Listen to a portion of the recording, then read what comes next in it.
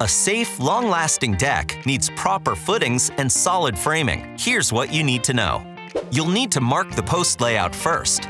For more details, check out the previous video in this series. Remember to follow local code for deck posts. There are several methods for setting posts. One way is to pour concrete in the post hole, set the post on the concrete, and backfill with gravel. To help prevent rotting, our wooden posts will be attached to concrete footers above ground. For either method, set the footers below the frost line to help prevent heave during a freeze. Temporarily remove the layout strings to get them out of the way. Dig the holes 6 inches lower than the required frost line depth for your area and slightly wider than the concrete footer tubes. A power auger can make this step easier and faster. Measure to make sure you dug to the right depth. Next, lay out landscape fabric and cut post hole openings. Later, we'll add gravel over the fabric to help with weeds and drainage. Then pour 6 inches of all-purpose gravel into the hole and pack it tight with a post. Put a concrete form into the hole and mark it a few inches above ground. Pull out the form and cut it with a handsaw. Set the cut side down in the hole and make sure it's plumb and level. Now, mix concrete according to the directions and fill the tube halfway. Use a shovel or 2x4 to remove air pockets. Then fill the rest of the way. Embed an anchor bolt into the concrete, make it plumb, and leave no more than an inch of thread showing. Also, backfill as you're working to keep the form in place. Follow the directions for cure time.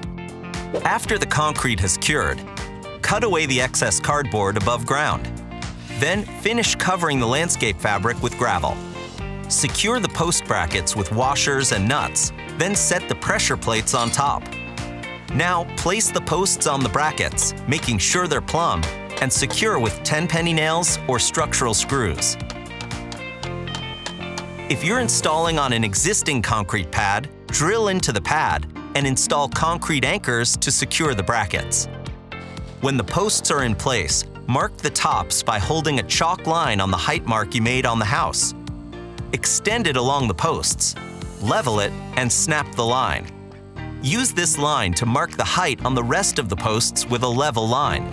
Then cut them with a reciprocating or circular saw. Next step is to attach support beams made from two 2x10s.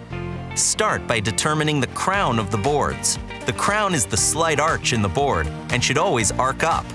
Clamp the boards together and drive nails about 8 inches apart.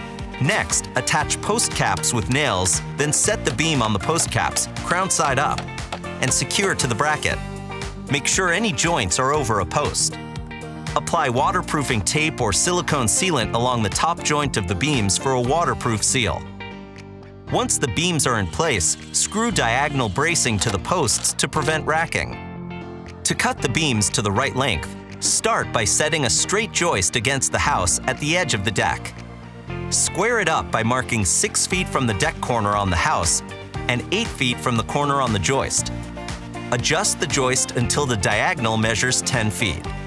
Mark and cut the beams. Next, build the floor frame. Start by marking the floor joist spacing on all the beams following your building codes, typically 16 inches on center. Then place each rim joist on a beam and transfer the lines down the face of each joist, placing an X to the side of the lines indicating where the joists will be attached. Drill pilot holes through the rim joist into the end joist and secure it with deck screws. Next, attach reinforcing brackets with deck nails or screws. Don't attach the other rim joist yet. Position the frame on the beams, making sure it's square, and secure it with rafter ties. If your rim joists are two pieces, you can assemble the frame half at a time. We're adding bracing in the middle to support parting deck boards. Hold the floor joist along the 16-inch on-center line, flush at the top, and drive in a screw.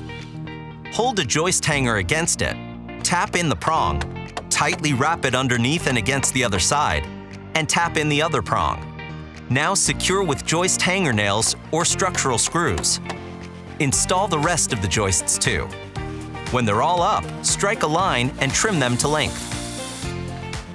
Finish the frame by attaching the other rim joist with hangers and nails.